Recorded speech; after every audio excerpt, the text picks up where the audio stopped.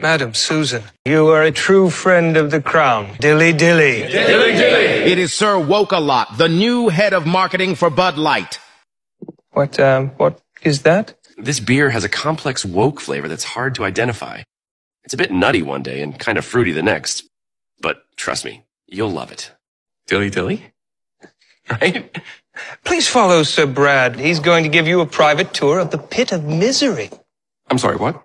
Pit of misery, dilly dilly. dilly dilly. Well, well, well, well, well. Some big, big news about this Bud Light boycott that has been going on for over a month now and going strong. And the news that I never thought would actually come out because, as I've said before, you come out with news like this, alienate the left, say nothing, or if you even if you say something, it might not be enough for the right or the moderates to come back to your brand. But this is a pretty big step here, so let's read it. Anheuser-Busch CEO finally disavows Dylan Mulvaney Bud Light partnership and says it was not a campaign. After firm sent letter to retailers blaming an outside ad agency for approving it without management awareness as sales crash a whopping 26%. Now, I'm going to be honest here before I get into the article. I don't know if I really believe that. I don't know how an outside ad agency could come into your company and slip something by all the CEOs of this magnitude that they're making a commemorative can with Dylan Mulvaney's face on it, and somehow none of the higher ups are aware of this. However, there's got to be something going on within the company because they put the VP of marketing, uh, Alyssa Heinerscheid, she's on um, leave, uh, which is you know a nice way of saying she's been canned. Uh, her boss, I forget his name, Whitworth, I believe it was. He's also been axed, canned, or he's not, but He's also on leave for this mess up, and their sales keep crashing to a whopping 26%. Like I said, I don't really know if I believe this. This seems a lot like blame shifting to me. But I think they're desperate at this point. They got to do something. People are not forgetting about this like they were hoping they were going to. And this is a very big win. And you know what? Hopefully, we're going to see other companies like Nike, like Maybelline, follow suit with this because people do not want these woke identity politics inserted into their brands. So let's read on here what the CEOs have to say. CEO of Anheuser-Busch has unceremoniously disowned the disastrous Dylan Mulvaney stunt, insisting it was not a campaign, as a letter to retailers says it was just one can. Global boss uh, Michel Doukeris addressed the mass backlash over working with uh, trans influencer Mulvaney, 26, for the first time in all an earnings call with the investors on Thursday. And I, uh, you know, they got to be panicking here. They got this is like uh, this is a hail mary pass here, folks. They are hoping that this is going to get them some of their customers back, and it might, but that remains to be seen. I still think there are going to be people out there who are never going to buy this brand again because they feel betrayed. And then we sat on this a month. People have been nonstop complaining about it. They want the company to make a statement. And it's taken a long time for this to happen. And like I said, it's not really even a statement. They're not like, listen, we messed up. They're like, no, no, no, it was someone else's fault.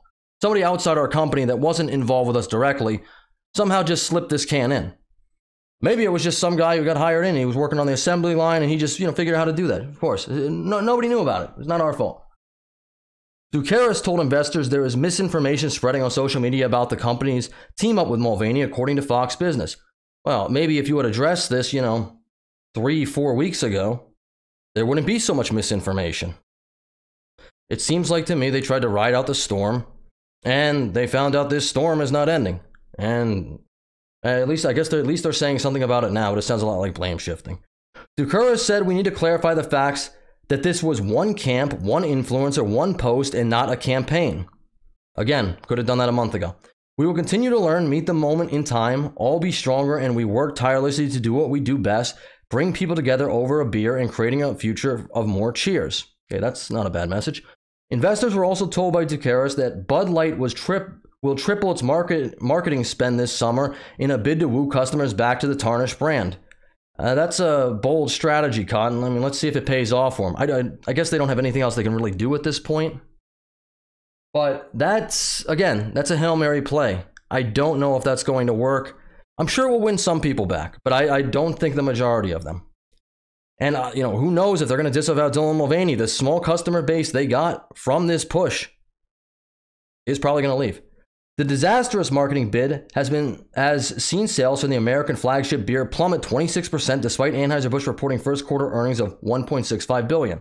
Well, this came out April, which would be second quarter as far as I know.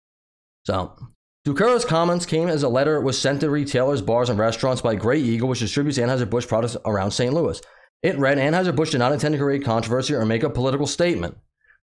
In reality, the Bud Light can be Bud Light can posted by a social media influencer that sparked all the conversation was provided by an outside agency without Anheuser-Busch management awareness or approval. Again, I, I really don't believe that, but I, I don't see how that would be possible. Uh, nobody's overseeing any of this stuff. I, I don't I don't really buy that. Since that time, the lack of oversight and control over marketing decision has been addressed, and a new VP of Bud Light marketing has been announced. Well, that's good. Uh, Bud Light's VP of Marketing, Alyssa Heinerscheid, took a leave of absence while the VP of Mainstream Brand, Daniel Blake, stepped down some days after. Oh, it's Daniel Blake. I think Whitworth might have been their CEO. Sorry, I got those names confused. Their sudden departure appears premature in light of the recent comments, which also claim there was no management awareness of the now infamous campaign. Well, then you really better, if, I mean, if that's true, and again, I don't believe that, you really better have an overhaul of, you know, your whole corporate space because that's ridiculous. But I don't really believe that. I think this is just an excuse. This is pandering. This is a way to say, oh, it's not really our fault. But still, this is this is a huge win. This is a big step here. The specifics of how the can fiasco erupted remain under wraps, which that'd be very interesting to know. I wonder how long it'll take them to craft that narrative. The latest letter claims that the Mulvaney can was the brainchild of an outside agency. Again, but it went through your uh, it went through your company. You distributed it. It is the first time the brewing giant has addressed the backlash in detail after they were hit with a major dip in Bud Light sales following the paid partnership. And as you can see here, yeah, I, I put this on a graph or one of my thumbnails yesterday. Bud down 26. Uh, Coors and Miller Lite both up 13%. Good for them.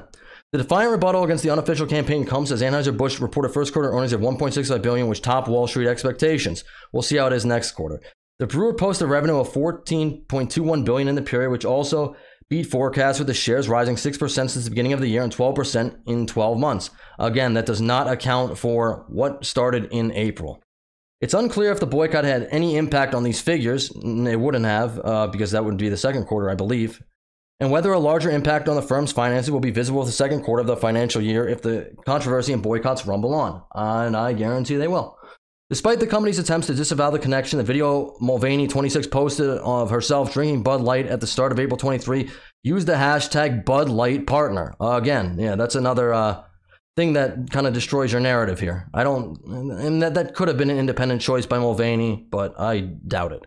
It implies that she was paid for the partnership, despite the brewing giants now claiming that the beer can and social media posts were not meant to be for production or sale to the gen- general public. Well, then you never should have done it in the first place bad marketing stunt, and I'm glad they're suffering the consequences for it. I'm glad they're actually speaking out about this. I never thought they would actually do that, but I think it's too little too late. It's been over a month. People are sick of this, and the only reason they're doing it now, I would imagine, is because they're down 26%. And they're desperate. They this silence thing that they've tried for the past month has not worked out. However, I do think this is a big win. But what do you guys think? Let me know in the comments. Is this enough? Will you forgive them? Are you going to buy a Bud Light product again? Personally, I don't think I will. But again, I'm not a big Bud drinker to begin with. Anyway, leave a like on the video, subscribe to the channel. Let me know what you guys think down in the comments. I'd really be interested about your takes on it. Thank you for listening this long, and I will catch you all in the next one. Later.